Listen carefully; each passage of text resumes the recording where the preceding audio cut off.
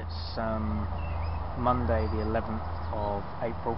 Um, last vlog was done was about two or three weeks ago. Um, ended up with nothing, didn't really get much action, so didn't really have a lot to film to be honest. Um, just uh, finished setting up um, down the opposite end of the club lake this time on a swim that's known as the Point, um, which sort of gives you quite an open view, quite a lot of water fish too. It's really open water but um, I'll show you. So, there's the rods there.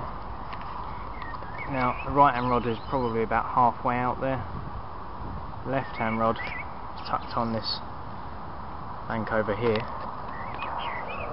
Um, I'll show you just there, that bush, sort of the one in the middle there, just off the edge of that. Got snowman pop up, again on the uh, Fruitella pop-ups with um, sorry it's the kettle going pop-ups with um, a Nash Tutti Frutti Boilie. So um, that's a bottom bait. So basically rigged as a snowman.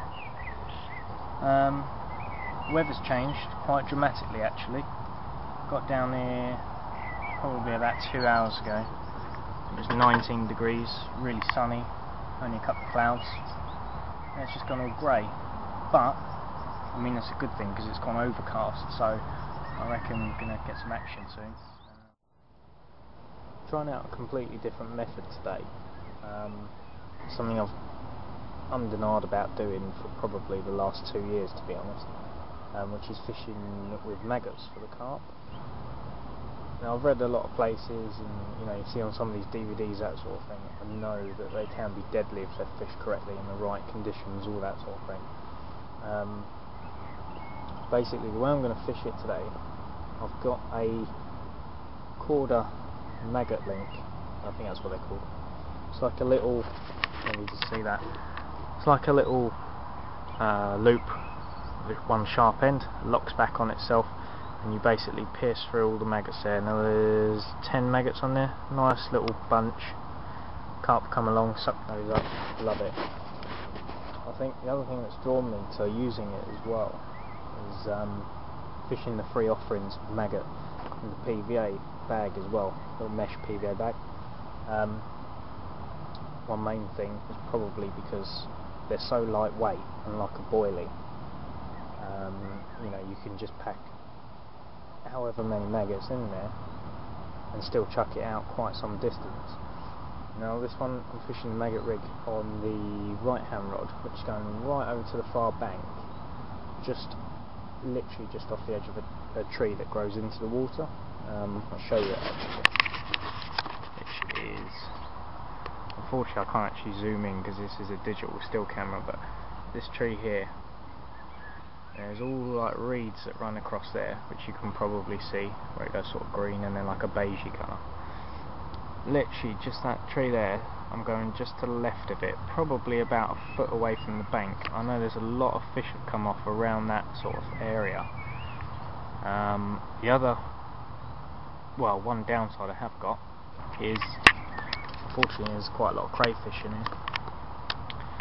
Um, and the trouble is with the crayfish, they get on the maggots, could be screwed, and obviously maggots, one thing that's stopped me from using it for years, on a water like this where you've got other fish competing for bait, such as bream, you know, I might get on a massive shoal of bream and just keep hauling them in all day. Um, this rain's really coming down. Look at this. That bivy door's getting blown all over the place. Gary's down here now. Um, it's up just next door to me, just there you can see. Weather's changed again. Wind's calmed right down, although there is still a bit of a breeze, but it's calmed down, which is good. And uh, the blue sky's back out, which is nice. Well, it's um, Tuesday now. It's actually a bit later on. It's about um, half four in the afternoon. Decided to stay on a, a night actually. Um, had a little bit of action last night, but unfortunately nothing really worth putting on the camera. Um, on that right hand rod over by that tree, um, on the maggot rig, had a huge drop back and uh, turned out to be a monstrous bream. It was about seven pound or so. I didn't weigh it. but yeah, about seven pound. Because it was dark as well, I couldn't really cast over to the bank and go and drop it in again. So I just put a little PVA bag on and just whipped it out there. Um, think it ended up landing a couple of foot away from the spot anyway, so it weren't too bad. Um, but yeah, and then about four o'clock this morning, half four maybe, um, absolute screamer. Um, ended up with a little five pound common, probably the smallest fish I've ever caught, well carp. Um, but yeah, really good little fight on it actually. It's quite quite a fun fish. Um, but yeah, slipped that one back. Uh, the battery was running a little bit low on the camera, and I've had to nip up the shop and get some batteries this morning anyway. Um, Gary had nothing last night at all. Uh, but so basically we've moved now. We're up on uh, complete opposite end of the lake. It's a little pool. It's about half an acre, an acre, with a little island in the middle, like an arm, um, which is where I'm fishing on now. Um, I'll show you where I am now.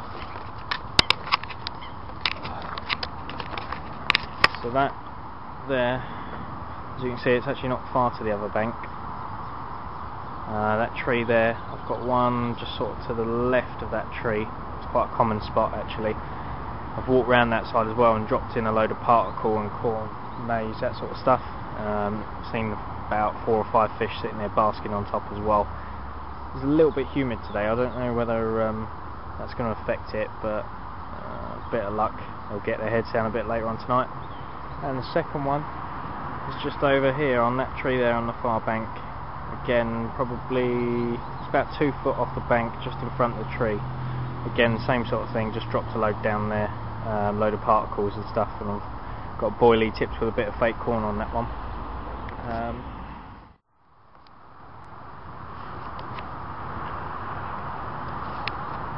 Mr. Gary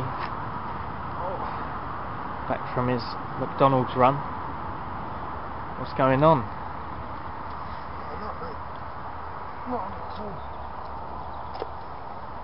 very quiet down here today.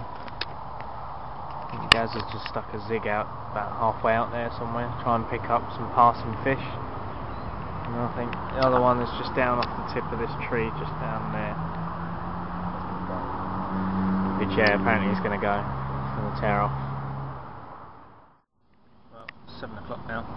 Um, still not much action. I had one beep on the right rod over by that tree, but nothing, just a little beep, could have been anything. Um, left hand rod, I did have a bit of a backdrop. Um, I was just over there, just with Gary talking to him, and it just went and then stopped. Um, I left it for about 15 minutes and I got a little bit paranoid that a crayfish or something had got on it. Um, I was backleaded on it, so it must have been slight take. Um, think it's probably just small stuff knocking around to be fair though. Um, brought that one in. Sorry, it's trains. Brought that one in and I've switched it now. I've gone on a pop up on that because it is quite silty down there. I didn't actually realise how, how silty until I pulled in the line. There was a load of gum all over it. Um, but I've gone with a mulberry Florentine single pop up on there. Probably risen about an inch or so off the ground. Um, PVA bag on that as well, just a small one, which is basically crushed up uh, tutti frutti boilies with um, also crushed up of those pop-ups. Well, red Thai curry's on. There's no fish action. There's certainly going to be some good old food action. It's getting nice and hot now. Yeah. Well, finally a bit of action just in the middle of eating that uh, lovely red Thai curry which probably now gone cold. Right hand rod just absolutely tore off uh, struck into it. And uh, I don't know what happened but bizarrely the uh, line on my bait runner just sort of doubled up. Knotted quite a hard fight. Very slow wallowing around fish absolutely nailed. That's with a really aggressive hook angle on that one as well. There we go. Not the biggest of fish in here, but nevertheless said, absolutely stunning, nearly, nearly fully scaled mirror. Just hold him up here so you can see him.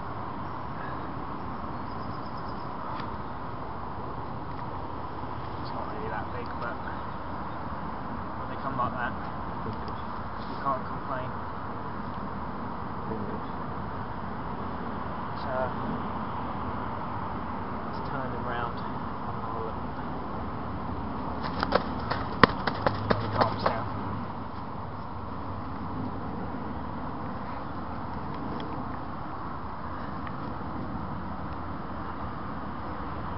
There we go, look at that.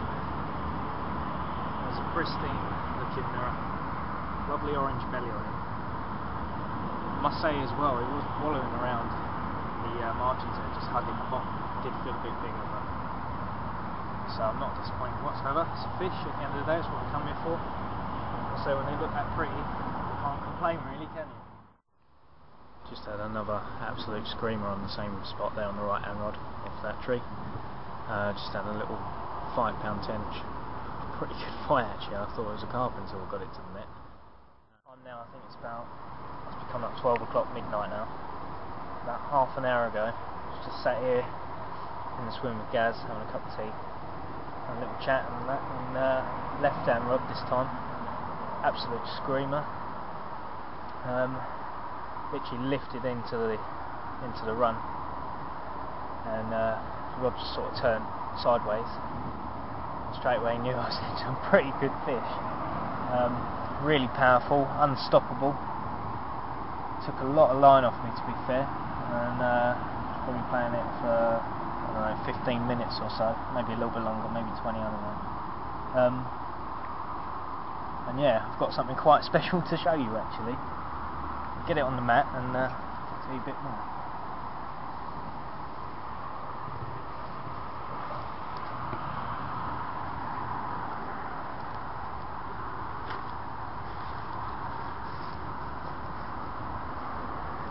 Right. This fish was uh, caught on a new bait that we've been uh, developing ourselves. Um, I don't want to go too much into the bait company just yet, but that will be up and coming. But just to give you a heads up, new bait company, Evolution Baits. Um, there'll be links and stuff like that to the website real soon. And again, I'll put that all up on the page. Let's say one of the main baits we've been working on on that. This bait is natural. Um, first time out field testing it actually, and um, yeah, what a result! What I've got here is one of the larger residents of this lake. If I can get him out sack. There we go. Which is a beautiful 25 pound common absolute cracker of a fish. Look at the body. Absolutely beautiful. Look, at that.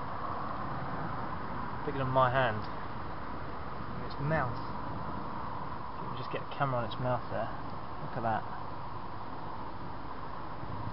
That is just one big fighting machine. So they took me on a run up and down the lake actually for about 15 minutes or so. Great fight. So, oh heavy one. Still a little bit of fight in him, surprisingly.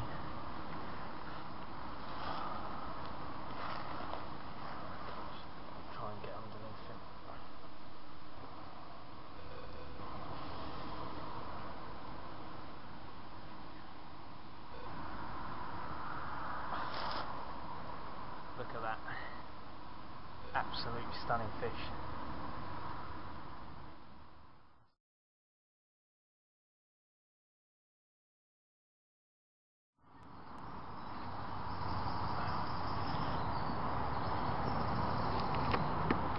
that 20 pounds of mirror muscle.